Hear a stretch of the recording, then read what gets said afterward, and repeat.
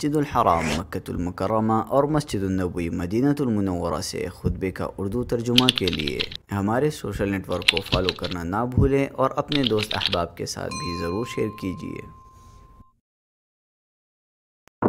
जुमा मस्जिद नबी शरीफ आठ सफ़र चौदह सौ बयालीस हिजरी व मुताबिक पच्चीस सितंबर दो हज़ार बीस बनवान बाजमात नमाज़ की फजीलत खतीब फजीलत शेख अब्दुल्ला बेजान तर्जमा बावाज हाफिज मोहम्मद इकबाल राशिद बिलाशुबा तमाम तारीफ़ें उस अल्लाह के लिए हैं, जिसके हम हमद बयान करते हो जिससे मदद मांगते हैं और उसी अल्लाह से अपने नफ्स की शरारतों और आमाल की बुराइयों से पनाह मांगते हैं, क्योंकि जिसे अल्लाह हिदायत दे, उसे कोई गुमराह करने वाला नहीं और जिसे वो गुमराह कर दे, उसे कोई हिदायत देने वाला नहीं है। मैं गवाही देता हूँ कि अल्लाह वाहदहू शरीक के अलावा कोई सच्चा मबूद नहीं, वही ला जवालो ला फानी साहिब सना है और उसी के हाथ में किस्मत मुकद्दर और तमाम फैसले हैं और वही आसमान आसमान से ज़मीन पर तमाम फैसलों की तदबीर करता है, वो मन मर्ज़ी करता है। तुम जबकि तुम्हारी मर्ज़ी उसी की चाहत के मरहून मन्नत है। और मैं गवाही देता हूँ कि बिलाशुबा मोहम्मद सल्लल्लाहु अलैहि वसल्लम उसके बंदे और रसूल हैं, जिन्होंने अल्लाह ताला का पैगाम पहुंचाकर अमानत अदा करते हुए उम्मत की खैर खाई की और आखिरी दम तक अल्लाह के लिए कमा हकू जद्दो जारी रखी। अल्लाह ताला आप और आपके तमाम आलो असहाब पर रहमत नाजल फरमाए। हमदो के बाद बिलाशुबा कुरान वजीद सबसे बड़ी, बढ़कर दुरुस्त बात और सबसे बढ़कर रहनुमाई पर मुश्तमिल दलील है और नबी करीम वसल्लम की सुन्नत शानदार मनहज मतदिल राह और पैरवी के लिए बेहतरीन नमूना है। जबकि बिदात की इजाद अख्तियार सख्त गुमराही है। है अल्लाह के बंदो, अल्लाह के हुक्म की बजा आवरी में उससे डरो और जिससे रोका, उससे रुक जाओ। अल्लाह ताला का तकवा हर मुसीबत की, निजात की चाबी है। ऐ ईमान वालो, अल्लाह ताला से डरो और सीधी सीधी सच्ची बातें किया करो। ताकि अल्लाह ताला तुम्हारे काम संवार दे और तुम्हारे गुनाह माफ़ फरमा दे और जो भी अल्लाह और उसके रसूल की ताबियादारी करेगा, उसने बड़ी मुराद पा ली। अकवाम मुस्लिम, मस्जिद अल्लाह के नज़दीक महबूब तरीन जगह और उसके घर हैं, जो इबादत, नमाज़ और ज़िक्र खुदाबंदी के लिए तैयार की गई हैं। इन मसाजिद में वही पना लेते हैं जो ईमानदार और अल्लाह के दोस्त होते हैं। जैसा कि अरशाद बारी ताला बिलाशुबा मस्जिदों को वही लोग आबाद करते हैं जो अल्लाह ताला और योम आखिर पर ईमान लाने वाले, नमाज़ और ज़क़़त की अदायगी के पाबंद, सवाए अल्लाह के किसी से ना डरने वाले तो है कि यही लोग यकीनन हिदायत याफ्ता हैं। इन मसाजिद को सिर्फ़ वही लोग आबाद रखते हैं जो सच्चे मुसलमान हों। अरशाद बारी ताला, लायक नहीं कि मुशरक अल्लाह ताला की मस्जिदों को आबाद करें और फरमाया, इन घरों में जिनके बुलंद करने और जिनमें अपने नाम की याद का अल्लाह ताला ने हुक्म दिया है। वहाँ सुबह शाम अल्लाह ताला की तस्बीह बयान करते हैं। ऐसे लोग जिन्हें तिजारत और ख़रीदो फरोख्त अल्लाह के ज़िक्र से और नमाज़ के कायम करने और ज़क़़त के अदा करने से गाफल नहीं करती, उस दिन से डरते हैं जिस दिन बहुत से दिल और बहुत सी आँखें उलट पुलट हो जाएँगी। इन मसाजिद से किनारा कशों और इनमें आज़ान व नमाज़ में रुकावट डालने वालों को दुनियावी रसवाई और रुखवी अजाबों की की धमकी देते हुए अल्लाह ताला ने फरमाया, उस शख्स से बढ़कर जालिम कौन है जो अल्लाह की मस्जिदों में अल्लाह ताला के ज़िक्र किए जाने को रोके और उनकी बर्बादी की कोशिश करे? ऐसे लोगों को खौफ खाते हुए ही इनमें जाना चाहिए। इनके लिए दुनिया में रसवाई और आखरत में बड़ा अजाब है। अल्लाह के बंदो, मस्जिदें सबसे अफजल जगह अल्लाह के घर और अपने रब की इबादत व इतात करने वालों के लिए पनाह गाह हैं। इन मस साजिद के मनारों से ही, ये तोहीदी नगमे, अशहद अशहद मोहम्मद रसूलुल्लाह, रोज़ाना कानों में गूंजते हैं। और इनके मनारों से इस्लाम के सुतून और उसके सबसे अजीम दूसरे रुकन नमाज़ की सदाएँ, नमाज़ की तरफ़ आओ, नमाज़ की तरफ़ आओ, कामयाबी की तरफ़ आओ बार बार बुलंद होती हैं। इनके मेंबर महराब से ही पैगाम ईमान जारी हुआ और दिलों और कानों की खिड़कियाँ खुली, बुत परस्ती और शिरक के अंधेरे दूर हुए।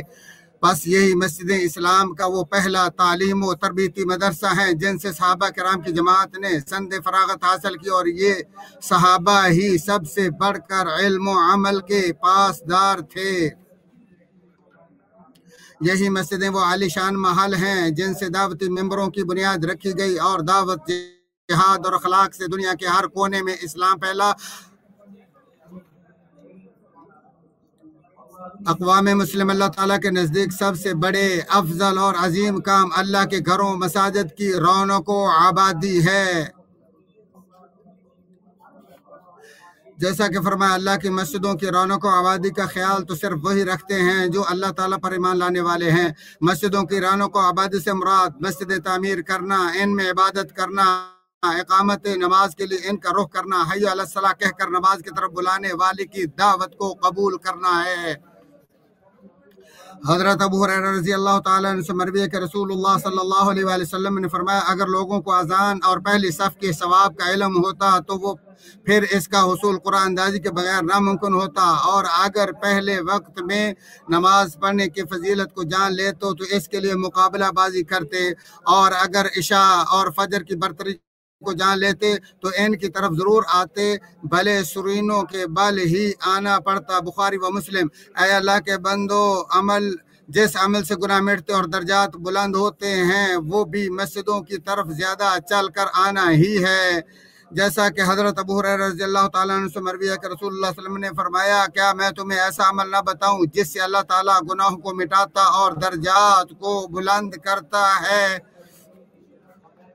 तो सहा साहबा ने अर्ज़ की हाँ क्यों नहीं? है अल्लाह के रसूल तो आप सल्लल्लाहु अलैहि वसल्लम ने फरमाया, नागवारी के बावजूद तसल्ली से मुकम्मल वज़ू करना, मस्जिद मस्जिदों की तरफ़ ज़्यादा चल कर जाना, नमाज़ के बाद दूसरी नमाज़ का इंतज़ार करना और यही तुम्हारे लिए रिबात, यानी सरहदों पर पहरा देने के मुतरदफ है मुस्लिम शरीफ। और अबू रज़ी अल्लाह से मरवी है कि नबी मुकर्रम सल्लल्लाहु अलैहि वसल्लम ने फरमाया, जो शख्स सुबह शाम बार बार मस्जिद में जा, हाजिर होता है, अल्लाह ताला जन्नत में उसकी मेहमानी का सामान करता है, वो सुबह व शाम जब भी मस्जिद में जाए, बुखारी व मुस्लिम। अल्लाह के बंदो ए अल्लाह के घरों में बार बार आने वालों और मस्जिदों को आबाद करने वालों, तुम्हें घने साय मुबारक हों और तुम्हारे लिए खुशखबरी है। शानदार और मुकम्मल उजालों की।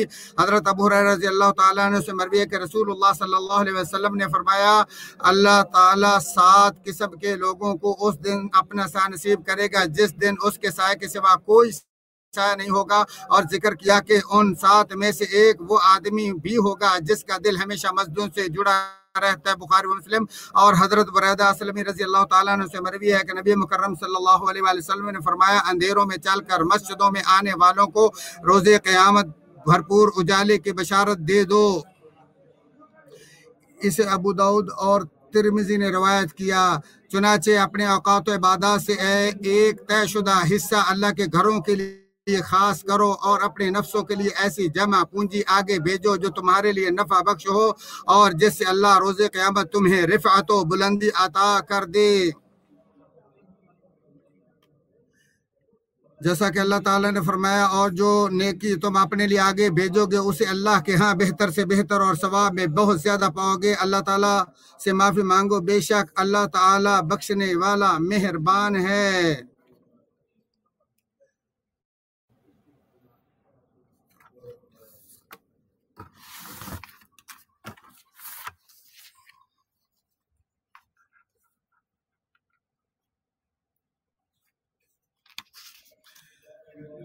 अल्लाह के एहसानात पर उसकी तारीफ़ और तोफ़ी व इनामात पर उसका शुक्र है। मैं गवाही देता हूँ कि अल्लाह वाहदहू ला शरीक के अलावा कोई सच्चा मबूद नहीं और वही अजीम शान है।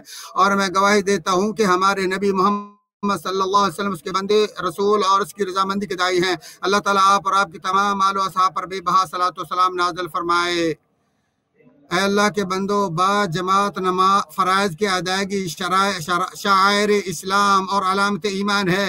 जैसा कि फरमाया, रकू करो, रकू करने वालों, रकू करने वालों के साथ अल्लाह के बंदो, बा जमात नमाज़ पढ़ना सबसे अफजल अमल, सबसे अजीम नेकी और शानदार तरीन दर्जा और ज़रिया तकर्रब है।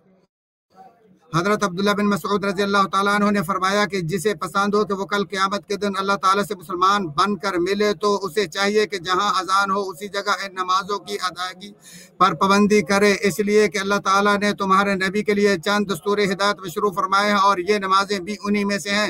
और अगर इन आ, अगर तुम इनको घर में बढ़ो जैसा कि फलां जमात का छोड़ने वाला अपने घर में पढ़ता है तो बेशक तुमने अपने नबी का तरीका छोड़ छोड़ दिया और अगर तुमने अपने नबी का तरीका छोड़ दिया तो बेशक तुम गुमराह हो गए और जो भी शख्स अच्छी तरह वज़ू करे, फिर इन मसाजिद में से किसी मस्जिद में हाजिर हो तो अल्लाह ताला उसके हर हर कदम के बदले एक नेकी लिख देता है और एक दर्जा बुलंद कर देता है और एक गुनाह मिटा देता है। और हम अपने तई ऐसा देखते थे कि जमात से कोई गैर हाजिर नहीं होता था, मगर ऐसा मुनाफिक जिसका निफाक बिल्कुल वाज होता और यकीन आदमी को दो बंदों के सहारे लाया जाता और सब में खड़ा कर दिया जाता था।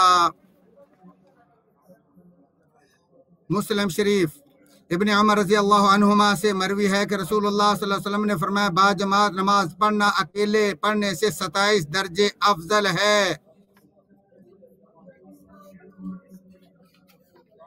इसे मुस्लिम शरीफ ने रवायत किया। हज़रत वसल्लम ने फरमाया बाजमात नमाज़ पढ़ना घर और बाज़ार में पड़ेगी नमाज़ से 25 गुना ज़्यादा बेहतर है। और ये इसलिए कि जब कोई शानदार वज़ू करे, फिर मस्जिद की तरफ़ रवाना हो और निकलने की नीयत भी नमाज़ की ही हो तो हर हर कदम के बदले एक दर्जा बुलंद होता है और एक गुना माफ़ किया जाता है। और जब तक वो अपने मुसल्ले पर बैठा नमाज़ में मसरूफ़ रहता है, तब तक मुसलसल फरिश्ते उसके लिए ये दुआ करते रहते हैं। है अल्लाह, इस पर रहमत नादल फरमा। है अल्लाह, इस पर मेहरबानी कर। और जब तक तुम्हारा कोई एक नमाज़ के इंतज़ार में रहेगा, गोया कि वो नमाज़ में ही मशगूल है।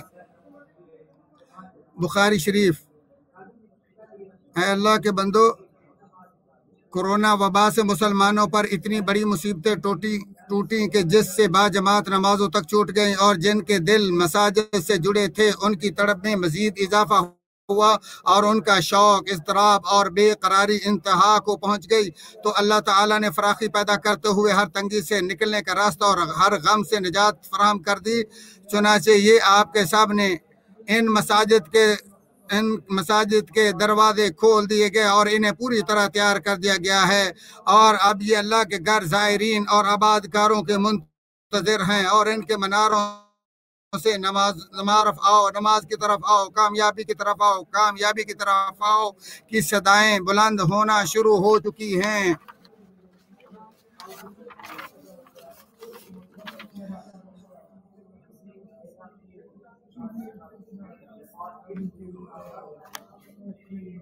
और अल्लाह का घर हज और उम्र की जगह ये अल्लाह का घर खोल दिया गया है। सो अल्लाह ताला के हमदो शुक्र बजा लाओ और दुआ मांगो कि वो बाकी बला को भी टाल दे, आजमाइश की मुशक्क़त को हमसे दूर कर दे और मुकम्मल आफियत शाफियत अता, शफा अता कर दे। है अल्लाह के बंदो अल्लाह के घरों की तरफ़ चलो अल्लाह ताला की तरफ़ बुलाने वाले की दावत को, को कबूल करो अल्लाह और रसूल के हुक्म को बजा लाओ जबकि वो तुम्हें तुम्हारे लिए ज़िंदगी बख्श इसलाह कुनिंदा शहादत बख्श और हिदायत दहिंदा चीज़ की तरफ़ बुलाते हों और हर सजदा के वक्त अपना रुख सीधा रखा करो और जिस जगह पुकारा जाए, उसी जगह फराज की पाबंदी करो।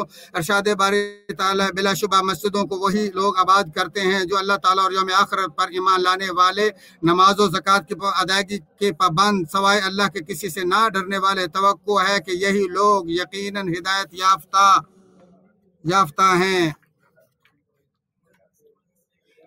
अकवाम मुस्लिम अल्लाह ताला ने इस बाबरकत मुल्क को जिन गुना गु नेमतों से माला माल किया है, जिसे जैसे अकीद तोहद, बाहमी इतिहाद अमन इस्तेकाम हरमैन शरीफैन और उनके ज़ायरीन की खिदमत, उम्मत मुसलमा के मसाइल और शानदार इंसानी मौक़ का अहतमाम इनका तस्करा तहदीस नमत के ज़ुबरे में आता है।